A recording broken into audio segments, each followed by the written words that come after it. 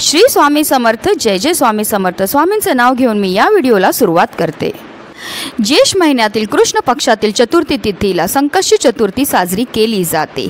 ज्येष्ठ महिन्यात ही अंगारिका संकष्टी चतुर्थी आहे. अंगारिकीला व्रत उपवास करून विघ्नहर्ता गणेशाची पूजा केली जाते. दर महिन्याला संकष्टी चतुर्थी व्रत असतं. त्या दिवशी गणेशासोबत चंद्राचीही पूजा करण्याची परंपरा आहे. ते त्याशिवाय हे व्रत अपूर्ण मानलं जातं. मंगळवारी येणाऱ्या चतुर्थीला अंगारिकी किंवा मंगळी चतुर्थी असं देखील म्हणतात. दोन हजार चोवीस या वर्षात केवळ एकच अंगारिकी चतुर्थी असून ती पंचवीस जूनला आहे. अंगारिकी चतुर्थीचे धर्मशास्त्रानुसार अतिशय महत्त्व आहे. तब्बल एकवीस चतुर्थी केल्यानंतर मिळणारे फळ हे केवळ एक अंगारिकी चतुर्थीचे व्रत केल्याने प्राप्त होतं. या दिवशी संकष्टी चतुर्थीचे व्रत पाळल्यास आणि श्री गणेशाची यथायोग्य पूजा केल्यास शुभ फळ प्राप्त होतं. जीवनातील सर्व अडथळ्यांपासून मुक्ती मिळते आणि घरात सुख समृद्धी नांदते. आणि म्हणूनच आपल्याला आज अंगारिकी संकष्टी चतुर्थीच्या दिवशी गणपतीजवळ ही एक वस्तू ठेवायची. ही वस्तू ठेवल्यामुळे आपल्या कुटुंबावर कधीच कोणत्याही प्रकारचं वाईट संकट तर येणारच नाही. पण त्याचबरोबर आपल्या आयुष्यामध्ये असणारं सर्व दुःख सर्व संकट सर्व दोष सर्व दारिद्र्य हे साक्षात गणपती बाप्पा दूर करतील ज्यामुळे आपल्या घराची आपल्या मुलांची आपल्या पतीची खूप प्रगती होणार आहे. अतिशय प्रभावी असा हा उपाय आहे ज्याबद्दल सविस्तर आणि महत्त्वाची अशी माहिती मी तुम्हाला या व्हिडिओमध्ये देणार आहे. तर व्हिडिओ पूर्ण पहा. आणि जर तुम्ही माझ्या चॅनलवर नवीन असेल तर चॅनलला सबस्क्राईब करा आणि शेजारी बेल आयकनसुद्धा प्रेस करा जेणेकरून तुम्हाला माझ्या नवनवीन व्हिडिओचं नोटिफिकेशन हे मिळत राहील. गणपती बाप्पांना आद्य देवता असं म्हणतात. ते बुद्धी बल आणि विवेकाची देवत आहेत. अंगारिकी चतुर्थीला श्री गणेशाची व्रत देखील केले जाते. अंगारिकी चतुर्थीला व्रत केल्यास वर्षभरातील सर्व चतुर्थीचे फळ मिळते आणि व्यक्तीच्या मनातल्या सर्व मनोकामना सुद्धा पूर्ण होतात. अंगारकी चतुर्थीला श्री गणपती चार मस्तक आणि चार हाताच्या स्वरूपात असतो. श्री गणपतीचे हे रूप संकटमोचक मानलं जातं ज्यामुळे त्या दिवशी हनुमानाची पूजा देखील केली जाते. मंगळ ग्रहाने श्री गणेशाला प्रसन्न केलं होतं. यासाठी कठोर तपश्चर्या केली होती म्हणून चतुर्थी मंगळवारी आल्यास ती अंगारिका चतुर्थी म्हणून ओळखली जाते. अशी प्रचलित कथा आहे. हे व्रत केल्यास मंगळाचे सर्व दोष दूर होऊन कुंडलीतला मंगळ मजबूत होतो. अगदी तुमच्यापासून माझ्यापर्यंत प्रत्येकजण खूप मेहनत करतो खूप कष्ट करतो जेणेकरून आपल्या आयुष्यामध्ये सुख समृद्धी नांदेल.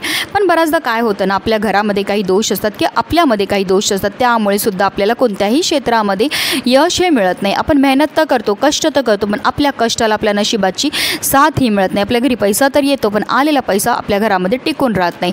तर ह्या प्रकारचे दोष का निर्माण होतात? ते निर्माण होतात आपल्यामध्ये असणाऱ्या दोषांमुळे. जर आपल्या ग्रह दशा चांगली नसेल किंवा आपल्याला की आपल्या घराला नजर लागली लागलेली असेल किंवा आपल्याला पितृदोष असेल किंवा आपल्या घरामध्ये वास्तुदोष असेल तर त्यामुळे सुद्धा आपल्या जीवनामध्ये अनेक प्रकारच्या समस्या ह्या उद्भवत असतात. आणि अशा विशेष स्थितीला जर आपण काही विशेष उपाय केले तर त्यामुळे आपल्याला या सर्व दोषांपासून मुक्तता मिळण्यामध्ये मदतही मिळत असते. आता हा उपाय आपण कधी करू शकतो? तर हा उपाय तुम्ही अंगारिके संकष्टी चतुर्थीच्या दिवशी दिवसभरामध्ये कधीही करू शकतात. तर आपल्याला हा उपाय सुरू करायच्या अगोदर आपल्या देवघरामध्ये दिवा हा प्रज्वलित करून घ्यायचा आहे. त्याचबरोबर धूपदीप अगरबत्ती दाखवून घ्यायची. गणपती बाप्पांना गणपती बाप्पांना हळद कुंकू अक्षदा अर्पण करायचे आणि त्यानंतर आपल्याला हा उपाय जो आहे तो करायचा ह्या उपायाकरता आपल्याला एक लिंबू लागणार. जे लिंबू आपण घेणार आहे ते व्यवस्थित पाहून घ्यायचे. ते चांगलं असावं. कुठेही दागळलेलं किंवा तुटलेलं किंवा किडलेलं नसावं.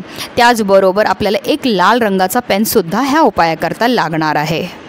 आता ह्या लाल रंगाच्या पेनने आपल्याला त्या लिंबावर आपल्या मनातली इच्छा ही अगदी थोडक्यात लिहायची जसं की तुम्हाला धन प्राप्तीची इच्छा असेल तर तुम्हाला धन प्राप्ती लिहायची नोकरी प्राप्तीची इच्छा असेल तर नोकरी प्राप्ती लिहायची आहे. संतान प्राप्तीची इच्छा असेल तर संतान प्राप्ती लिहायची किंवा इतरही तुमच्या ज्या पण मनातल्या इच्छा असतील घराबद्दल मुलांबद्दल पतीबद्दल ती अगदी थोडक्यामध्ये आपल्याला त्या लिंबावर लिहायचे त्यानंतर आपल्याला देवघरामध्ये आसन घेऊन बसायचं आहे.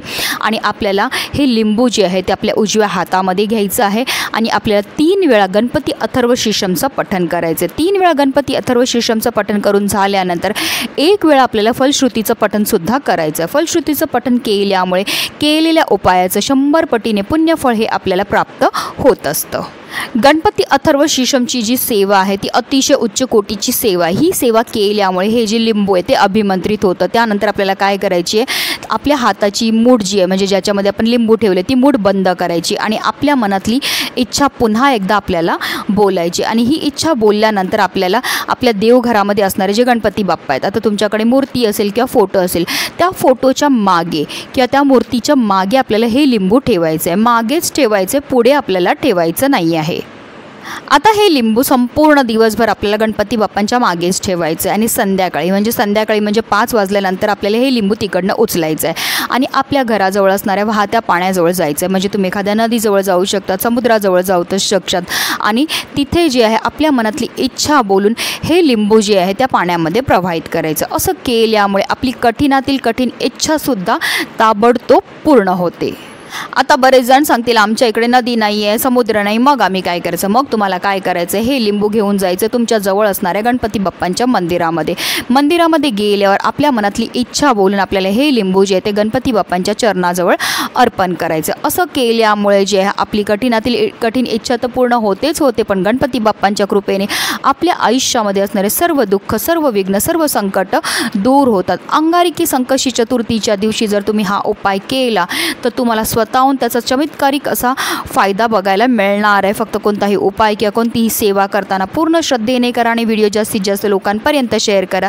जेणेकरून प्रत्येकाच्या आयुष्याचं कल्याण हो. ही स्वामीचरणी प्रार्थना. श्री स्वामी समर्थ. जय जय स्वामी समर्थ.